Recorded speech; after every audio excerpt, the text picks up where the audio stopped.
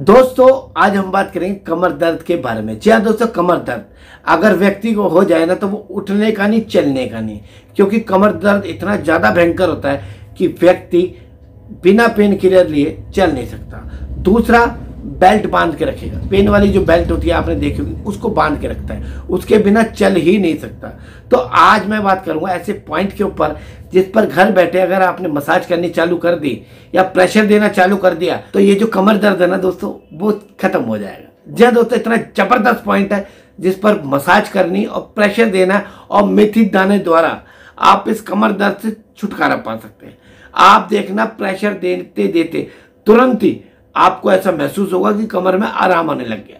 क्योंकि दोस्तों, कमर है ना, अगर ये दर्द होना चालू हो जाए या प्रॉब्लम आ जाए कमर में तो ये धीरे धीरे करके ना हमारे पूरे शरीर को खराब करने लग जाती है।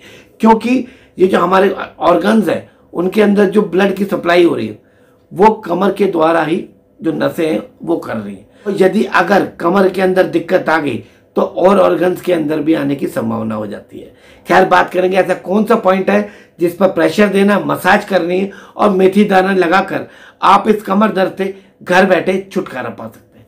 दोस्तों, देखिए, वो पॉइंट ये हमारे रिंग फिंगर मिडल फिंगर में, ये जो लाइन है ना, इस तरीके से लाइन ड्रॉ करिए यहाँ तक। ये थोड़ी सी लाइन टेढ़ी होगी, कोई बात नहीं। आप इस तरीके से अपने हिसाब से यूँ कर लीजिएगा। आपको क्या करना है, इस दो फिंगर लेनी है और इस तरीके से प्रेशर देना। ऊपर तक। देखिए। दो फिंगर ली, इस तरीके से इस पर प्रेशर दिया। दो से तीन मिनट इधर देना है और दो से तीन मिनट इस वाले हाथ में देना है। दोनों हाथों में करना है, तीन सेट करने दोस्तों, सुबह, दोपहर, शाम। फिर देखना कमर, दर्द है ना छू मंतर हो जाएगा। अब बात करें दोस्तों मसाज की, आपको क्या करनी? कटोरी के अंदर घी लेना है या तेल लेना इस तरीके से लिया अंगूठे में। और इस एरिया पे इस तरीके से मसाज करनी। इस तरीके से। ये, जब भी फ्री बैठे टीवी देख रहे हैं, इस तरीके से मसाज करना चालू कर दिए घी लिया, इस तरीके से। इससे क्या होगा कि हमारे कमर की ना सिकाई होने लग जाएगी। जैसे दोस्तों, जब हम मलम लगाते हैं, वही काम ये करेगा। आपको ट्यूब कमर पे लगाने की ज़रूरत नहीं है, आप इस तरीके से लगा लीजिए। किसी को बुलाना नहीं है, भाई मेरे कमर में दर्द हो रहा है ट्यूब लगा दे या बाम लगा दे। ना इस तरीके से। दोनों हाथ। कमर दर्द से छुटकारा। अब बात करेंगे दोस्तों मेथी दाने की। जी हाँ दोस्तों, मेथी दाना कैसे हमें अप्लाई करना है?